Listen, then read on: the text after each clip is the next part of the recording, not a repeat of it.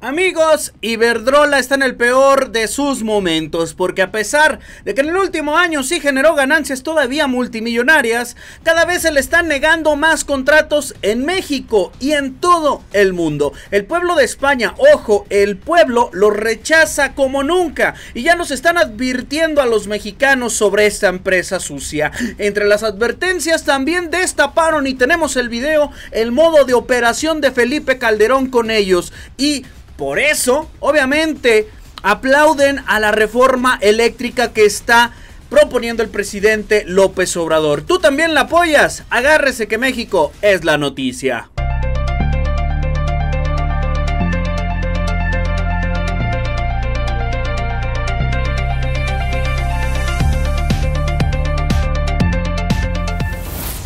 Y gracias por el apoyo, un abrazo y un saludo para todos ustedes. Mi nombre es Víctor Rialpando. Gracias por acompañarme en una emisión más aquí a través de México es la noticia. Antes de iniciar te voy a pedir que me ayudes apretándole la manita arriba, que te suscribas y que le aprietes a la campanita para que YouTube apoye a estas voces independientes. De igual manera agradecer de todo corazón a todos aquellos que han hecho posible que ya seamos más de 90 mil en este canal. Vámonos directamente con la información porque eso es lo que urge y es que vamos a hablar de Iberdrola, la empresa que está perdiendo contratos por donde sea. Ya lo rechazaron en Estados Unidos, en toda Europa, el pueblo español lo aborrece, en Sudamérica ya también le están dando para atrás a sus contratos y ahora México está haciendo la punta para ser el primero en correrlo a patadas. Y es que los mismos españoles ya empezaron a lanzar advertencias a México y decir, México, esa empresa nos tiene hechos pedazos actualmente a nosotros. Por favor, eviten, eviten tener todos los contratos que sea con ella. ¿Por qué?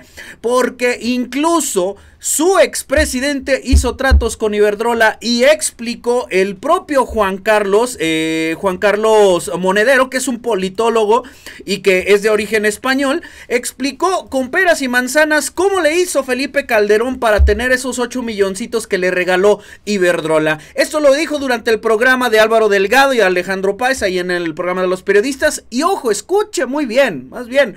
Pare ojo, pare oído, porque el mensaje es muy importante de cómo Borola se aprovechó de su puesto público, algo que lo debería de llevar mínimo un juicio. Iberdrola, eh, vuestras empresas eléctricas se permiten el lujo.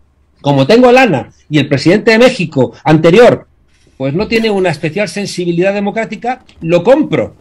O se compran al secretario de Estado de Energía, que tiene toda la información sobre los bienes estratégicos que son secretos que son secretos del país, que vale mucho dinero, que cuando lo conoce una empresa, de repente, pues son dinero que pierde el propio país eh, por esa información privilegiada. Y resulta que tú como cargo público te llevas con tu información privilegiada todo ese conocimiento a una empresa privada, además extranjera, y además con arrogancia. No puede ser.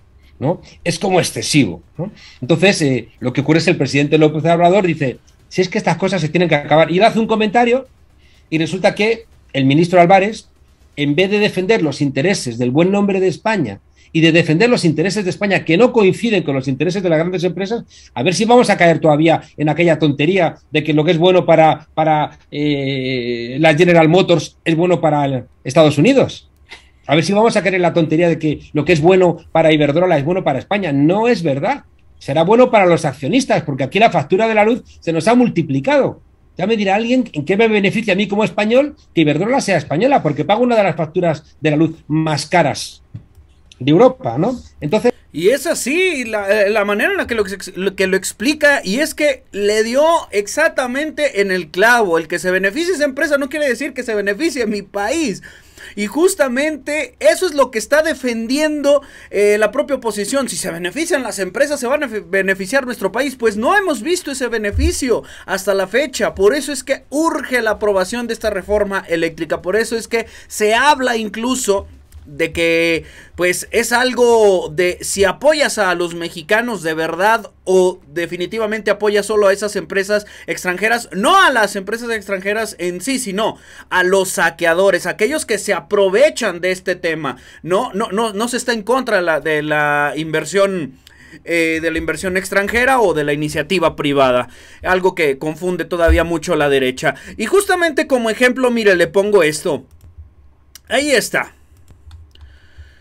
Iberdrola y otras eh, vaciaron las presas. Ahora España no tiene agua y paga la luz como oro. Durante el verano del 2021, al menos dos empresas energéticas españolas vaciaron cuatro presas gallegas para utilizarlas en turbinas y generar luz, lo que le ocasionó que ahora la ciudadanía de Galicia tenga escasez de aguas. Las empresas se anotaron ganancias millonarias y las autoridades de España, en cambio, las han multado apenas con miles unos poquitos cuantos miles de euros. Se trata de Iberdrola y Naturgy, que son empresas que también están aquí en México. Ojo que eh, ahorita explicando este tema, pero primero quiero que veamos otro video en donde la senadora Antares, que es promotora de esta, eh, eh, de esta reforma, también da una crónica de cómo estas empresas se estuvieron aprovechando durante el sexenio de Enrique Peña Nieto, que ya lo tenían aprovechado, pero con los cambios en la reforma energética del 2013, todo valió Mauser. Por la soberanía energética. La reforma eléctrica de nuestro presidente Andrés Manuel López Obrador es fundamental para el país por varias razones. La primera razón es esta, la soberanía que se perdió. La teníamos y se perdió con la reforma mafiosa de Peña Nieto. Sí, la regalaron, fíjense, antes la CFE producía el 100% de la electricidad que requeríamos y resulta que ahora ya nada más produce el 38% y están paradas las plantas hidroeléctricas que es energía 100% limpia. Otra razón es porque tenemos que acabar con los negocios al amparo del poder. Y la reforma energética de Peña Nieto abrió la puerta para unos contratos leoninos a los que está sujeta la CFE y tiene que estar pagándoles a los privados, se use o no su energía. Muchos miles de millones de pesos con cargo al erario y por supuesto a nosotras, a nosotros. Otra razón es acabar con esas mafias que ya sabemos, ¿verdad? Esas mafias que hay muchos intereses por allí de negocios y de eh, que pretenden robar la soberanía de los países. ¿Qué pasa si no hacemos la aprobación de esta reforma eléctrica? Vamos a acabar como España, que está ya en este momento con las mismas empresas como Iberdrola, está cobrando 10 o 15 veces más la energía eléctrica de lo que se cobra en México. ¿Por qué? Porque ya tienen un monopolio, porque lo pueden hacer, porque ellos solo persiguen fines de lucro. La CFE lo que busca es garantizarnos el derecho humano a todas y a todos a tener energía eléctrica en nuestra casa. Es fundamental que nos ayuden. El pueblo organizado es quien puede arreglar las cosas. Eh, la opinión del pueblo es lo más importante y eso es estandarte de un pueblo democrático. Y ojo, para que no le digan y no le cuenten, ¿eh? Para que no este, eh, traten de engañarlo, que yo sé que ustedes son personas muy listas y que entienden que la oposición ha querido con fake news y que no, por eso mismo, de que ustedes son muy listos, la oposición no ha logrado engañar al pueblo de México, a pesar de los millones y millones de pesos que han querido invertirle en la mentira. Del total de energía, esto ya lo he dicho en varios videos, del total de la energía que genera CFE, el 38% es energía limpia. Y con la aprobación sería todavía mucho más. Todavía mucho más, abarcaría el 54%, no el 38, el 54%, más de la mitad de la energía que produciría CFE. Del total de la energía que generan los privados, solo el 19 es energía limpia. Es decir, que no estamos en las mismas, eh, eh, eh, en las mismas cifras. del total de la energía limpia que se genera en el país, 56% del total lo genera la CFE. Decir que CFE es sucia es una vil mentira. Entonces, ¿a qué le estamos jugando empresas españolas? No que usted es pura energía limpia, pues claro que no. Es otra farsa de la mentira.